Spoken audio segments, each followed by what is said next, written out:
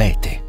Il diabete è una condizione nascosta, un costante atto di equilibrio. 4 milioni di noi convivono con il diabete. A volte capita che se fai tutto bene, le cose continuano ad andare male. Gestire i numeri, essere pronti a tutto, paure, complicazioni, coraggio, determinazione, forza. Questo è il diabete. Nella cura del tuo diabete non sei mai solo. C'è una squadra intorno a te. Rivolgiti al tuo diabetologo. Coltiva i tuoi sogni. Il mondo del calcio è con te. Mettiamo in fuorigioco il diabete.